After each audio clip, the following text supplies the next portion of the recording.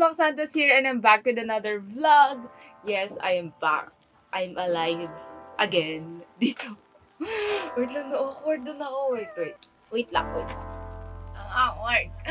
Ah, so yun nga, I'm back again. If you already know, um, nag-post ako ng announcement sa Facebook page ko. If hindi niyo pa ako pina-follow doon, follow niyo na ako. Yes. Then, nag-announce ako doon na we're joining a film competition kaya sobrang tagal ko nawala. Like, bilan lang ako, ganun. Three months na kami sa production. Almost three months sa production.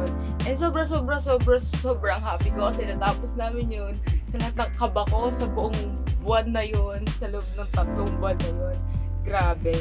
Tuwing naiisip ko nga natapos na namin, kahit nasa simula pa lang kami, sinisip ko na natapos na siya, ganyan, kunyari, baka palabas na ganyan. Naiiyak ako, literal. As in, first film competition ko siya outside school. And, uh, sobrang fulfilling niya kasi, wow, I cannot imagine na ay matutuloy ko na pala sumali sa film competition. Kasi, ang dami ko nang na-set aside the film competition. As in, kasi ko na school, graduating ako na senior high school, ang hirap talagang asikasuhin and all of that. Pero ito na, ito na. Uh, sana, sana, pag-pray natin na makapasok kami sa finalist on, na isi-screen on November 11 to 17. So, follow nyo din ang FTCP and register din kayo sa FTCP channel. You can watch lots of films there and hopefully yung film namin napanood natin doon. Hopefully, hopefully, hopefully, um, hindi na ako mag-dig deep kasi kinento ko na din naman lahat yun doon sa, sa announcement na yun. But yeah, I'm very, very happy and very, very proud of the production na nakasama ko and the cast and lahat na tumulong sa amin. Sobrang, sobrang thankful ko kasi hindi ko talaga magagawa yun kung wala sila. So, let's hope for the best to that film. So, for today naman, um, dahil nagbabalik ako from the dead. Last, I don't know when, pero nagtanong ako sa Instagram and sa Facebook ko na nagtanong ako na magtanong kayo. Ganon. So, there are few questions na sasagutin natin na, you know, to get to know me pa din. Ganyan. And uh, siguro unahin natin yung random questions muna bago yung deep questions about myself. Unahin natin tong kapatid ko. Nagtanong ba naman, what is the value of X? Wala. Wala value yun. Wala. Dito galit yarn. Nandito siya sa tabi ko. Tuwag-tuwa pa siya sa mga tinatanong niya. Who's your first crush? Sarili ko, love yourself. Ito, galing kay Beds. Naked or sports bike? Para sa akin. It depends on the mood. Sorry. Parang, parang namin pera para bumili ng motor. Pero, mm, yung depende sa pupuntahan. Kasi, maganda sila parehas. So, don't make me choose. Sa akin, blockmate na si Jam. Ang dami niya tinanong, pero pili tayo ng Tots daw. Tots po sa pinaka-cute mo na blockmate na si Jam. Guys, wala nang deflect sa sinabi ni Jam. Pinaka-cute daw siya. Tots. Um, for you, first impression lang muna siguro, alam kong ano, parang magiging, you know, vibe tayo. Parang I see myself in you when I interacted with you. Wow, English. Parang may pagkaganon. Pero syempre, alam niyo naman yun na ano, nahihiya talaga ako nung unang best ko kayo nakausap. Pinalagtat kasi syempre, kayo mas, parang medyo mas matagal na kayo magkakasama. Tapos ako, ako yung ko. Joke. Ayun lang. Um, masaya kasama si Jam as in promise. And I hope makasama to sa face-to-face. Sana mag-face-to-face na. Makasama ko kayong lahat. Yes. From Alexandra. Um, favorite pet? Obviously, I love cats. I have my cats here beside me. Say hi to the vlog! Hi kay Lapit eh. Hi pa. Oh, oh! Asungit! Asungit po! Sila. Ayan, cats talaga parang ano, parang nakita ko dati na pagpupunta ako sa bahay ng friends, may mga pusa sila, nilalambing ko din. Eventually, yun, nagusto ko, parang let's go, let's have cats dito sa bahay. And then, ayun, as of the moment, we have 8 cats. Mm-hmm. We have 8 of them. Dapat 10, pero sa ako nasasabihin kung bakit dapat 10. Saka na natin pag-usapan yung mga pusa. Eh. Like, isang vlog para lang sa mga pusa. Next po, ito kay Crystal, my sister sister by heart. Yan, kakasya ko si Crystal. ng junior high and we've been really close. So, sisterette ko na yan. Galing kay Crystal, may tao ka bang nasaktan na physically? Oo, te, ikaw, nahampas na kita ilang beses dahil sa chikahan natin. Ako, Tapos, dati, may nasampal na ako. Pero biruan lang, nagbibiruan lang. Tapos nagano ko siya. Nagsorry ako, tawa din naman siya. So, sana, sana okay pa ako sa'yo. Sino ka man nasampal ko. Debati ako dun, promise. Next naman, how's college life so far? So far, nakaka-survive kasi midterms namin and uh, I'm happy kasi nag-grade consultation na kami last time and uh, masaya ako kasi mm, I have high grades and goal ko talaga na ma-maintain ko yun until college kasi mahirap na ako kailan college, di ba? Baka doon tayo magano pero ayun. And it's so, so stressful kaya din wa- nawala ako dito other than the film competition ah, ang hirap isingit pa kasi as in bukas may deadline, sunod may deadline, sunod may deadline. As in, sabay-sabay silang lahat. Ganon. And, um, other than ACADS, happy din ako kasi I'm gaining friends. And, mas naging ka-close ko yung blackmates ko, ganyan. Parang no first day, parang ano pa ako, ay, ay, ganun. So, ngayon, mas nakachikan ko sila, nasishare ko na yung mga medyo personal life, ganyan, personal rants. So, yeah, um, sana matapos at first term. So, nagbakasyon ng December, please. Tapos, ayun, parang, nasasanay na lang din sa stress. Pero, ano, bago pang araw to, 3 days ago, within this 3 days, kahapon sa araw, sa araw pa, I've been drained emotionally, physically, and mentally, as in, kumakausap naman ako, hindi ganun ka-hyper, um, basta yun, as in, hindi ko alam, minsan kini-question ko yung sarili ko, ano na nangyayari sa'yo, ganyan, pero, thankfully, na-regain ko yun kagabi, at, I'm back, here, sa harap nyo, yes, Yes, thank you very much. Can you do some editing tutorial done kay Mafi? Yes, I've been fla- planning. Medyo plan yun. Nagpaplano ako. Alam niyo ba? Naisip ko yun dati na why not naman na gumawa na ako ng tutorials. Pero inisip ko na paano po ako makapagturo ng maayos. Kasi baka mamaya ang gulo-gulo ng ang gulo ko turuan. So, sa'yo naman yung tutorial. Like, ako ba ito din turo sa nila? Baka ma-judge lang ako kasi marami naman magagaling dyan. Maraming magaling magturo. Like, you know. Pero I'll try my best. Pagpapanood ko yan. I promise you guys. At hindi ako graduate ng AB film na hindi ako napag-tutorial. Yun na lang siguro. Yun. I'll do that. I'll do that. From Shar Shar Malonzo. Hi po! Ano pong must-have niyo sa paggawa ng short films niyo? At ano pong favorite songs niyo? Doon muna tayo sa favorite songs. Actually, wala akong as in favorite na pag ito, ito lagi, ito lagi. Parang. I have variety of favorites. Parang ganun. Siguro I'll, I'll describe or I'll tell you the artist. Oliver Rodrigo, unang-una sa lahat kung bakit ako na in love sa Purple. Mm, sino pa ba? Ben and Ben, My Therapy. As in, Ben and Ben Saves Me. If you know Grant Perez, nagko-cover siya and meron din siyang original song. Ni Jam. So, ayun. Um, nakikinig ako sa kanya lately. And then, hmm, sino pa ba? Bumalik na ako ulit pa- pa- pakinig kay Taylor Swift. Tapos, dapat hindi ko makalimutan, Daniel Caesar. As in, yung, yung buong playlist, yung lahat ng kanta niya paulit-ulit.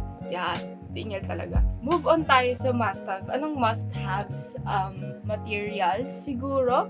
Mm, siguro, hindi ko alam kung materials ba to or ideas. Siguro as long as you want to tell a story, must-have yun. Kasi, hindi ka na makakagawa ng short film kung wala kang kwentong ibabahagi, di ba? Ang lalim! Ayun. Um, kung equipments naman to, uh, in script writing, I have uh, Celtics. Pinasa lang yun sa akin nung senior high school ako.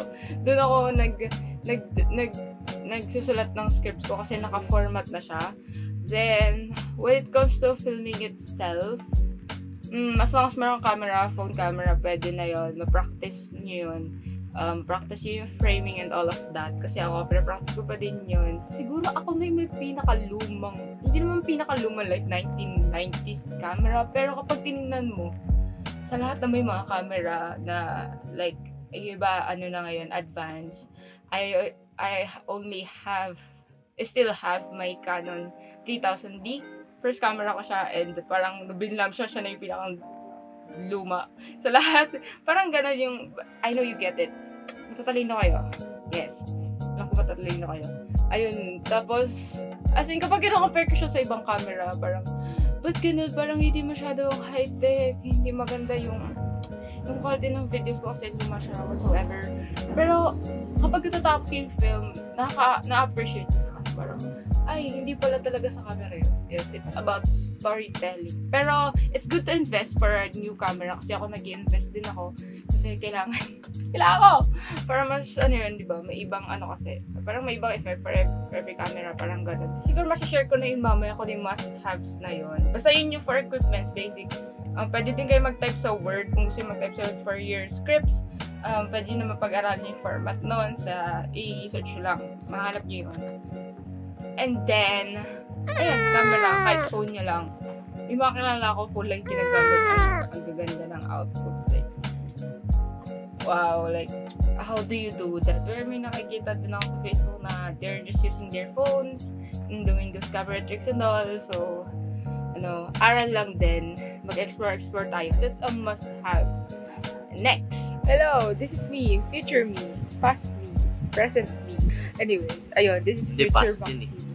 The present Maxine. Past ng future mo. Ay, Ikaw basta yung yun. future. Hello guys! So, idadagdag ko lang din sa must have kasi hindi ko pala nabanggit. Siyempre, hindi ka na makagawa ng short film kung hindi mo i-edit. Grabe naman yung dire-diretso yung short film mo. Continuous lahat. Ayun. So, dati, nung hindi pa talaga ako nag-film, pinang-edit ko sa vlog to ah. Pinang-edit ko pa yung mga may watermark na ang laki-laki ng watermark. Um, power director pa dati. Up.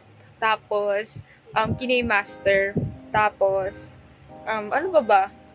Hmm, parang yun lang naman. And then, ayun, if kaya nyo magkaroon ng Adobe Premiere Pro, ayun, yun na yung gamit ko ngayon. Tapos, alam ko, libre yung DaVinci. So, try nyo din yun, DaVinci Resolve. Um, yeah, hanap lang kayo ng, ng pang-edit yung editing software, editing app, and you're good to go na. Ayun, move on na tayo sa past me. From Kuya Albert, yes, you've asked the question and I'm going to answer it now. Kailan nagsimula yung pagkahilig mo sa paggawa ng films? Ba't mo to nagustuhan?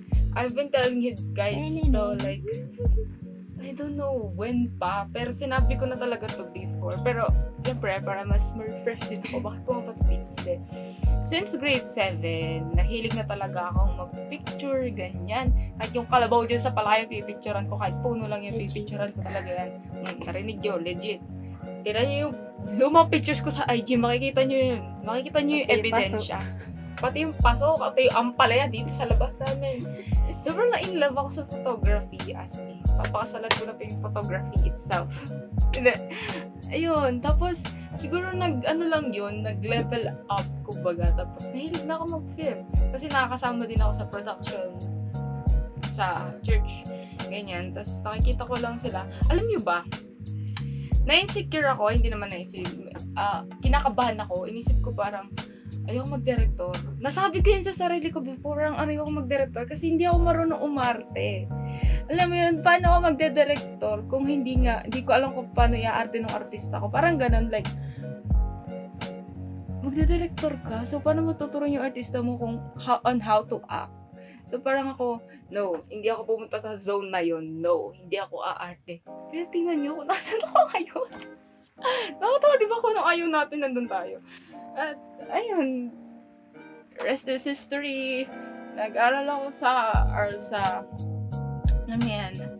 Then, ayun, na-inlove na lang ako sa films. And, uh, basta, parang, love at first sight sa film. I think, it's like that. Tapos, basta speechless ako ganun. Ah, ah, paano ba? Natutuwa din naman kasi ako sa sarili ko na nandito na ako ngayon. Parang dati, kasi as in sa senior high school lang ako natutuguman na film. Wala akong background na as in video ng ng film talaga nung um, junior high. Meron man, pero video-video lang kami dati noon. Wala akong basic, ano, natuko sa film. Kaya na senior high school, medyo na-pressure ako kasi alam ko may mga, alam mo itong mga to, parang ganun. Tapos nung natuto ako, parang, wow, the improvement. Parang simula nung grade 11 hanggang ngayon, nakikita ko na improvements sabi ko, I'm proud. Amins na lang talaga ako para kung nilalamon na lang ng film, ganyan. And I always, siguro sa sobrang daldal ko, dun napunta. Yung pagkadaldal ko, like, I wanted to tell a story at napunta sa film. So, good din pala maging madaldal.